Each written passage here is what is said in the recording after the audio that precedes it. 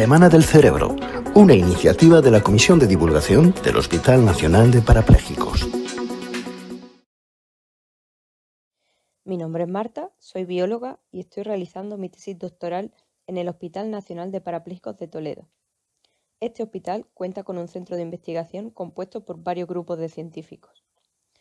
¿Por qué es importante investigar sobre esta patología? En estudios realizados a pacientes se ha determinado que al menos un 80% genera dolor durante toda su vida a causa de la lesión medular. Muchos científicos han encontrado una relación directa de ese dolor con cambios en el cerebro de los pacientes. Y es que es nuestro cerebro el que siente el exterior.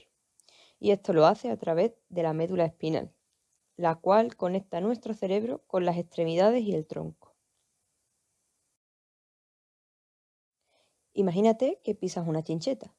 ¿Cómo sabes que te has pinchado y no quemado, por ejemplo? ¿O cómo sabes dónde te has pinchado? En la médula espinal hay neuronas que tienen una parte muy larga, que llega hasta todas las zonas de la piel y los músculos, y son las primeras en recibir la información del exterior y llevarla hasta el cerebro, como si fueran cables de teléfono transmitiendo una conversación. Nosotros decimos que las neuronas se comunican mediante disparos o chispazos, y así transmiten la información hasta el cerebro.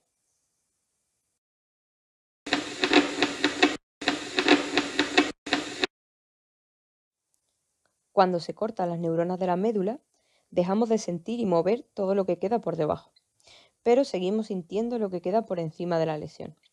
Por ejemplo, si el corte ocurre a nivel de la cadera, dejaremos de sentir ese pinchazo en el pie y tampoco podremos reaccionar para levantarlo. Esto ocurre porque el cuerpo manda mensajes de manera ordenada, es decir, las neuronas del pie irán por un sitio y las de la mano por otro. Así es como nuestro cerebro forma un mapa corporal, parecido al de la imagen. Los pies entonces van a quedar desconectados del resto del cuerpo y todas las sensaciones ya no se transmitirán, por lo que esas neuronas del cerebro encargadas de sentir los pies intentarán compensar la falta de información inventándose palabras.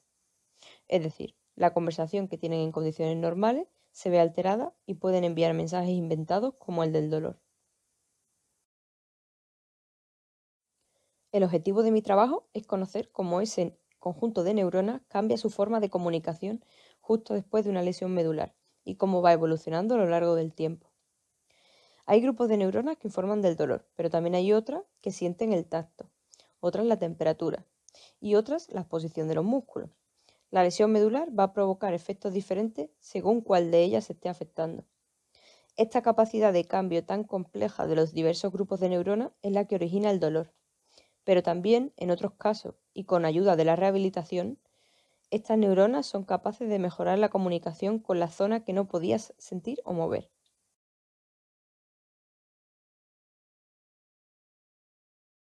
Conocer cómo cambia el cerebro después de la lesión medular es importante para mejorar el diagnóstico de los pacientes que sufren patologías tan graves a lo largo de toda su vida. Y yo con mi tesis doctoral pretendo conocer cuáles son las células que cambian, cómo lo hacen y de esa manera poder dirigir los tratamientos a esas células afectadas.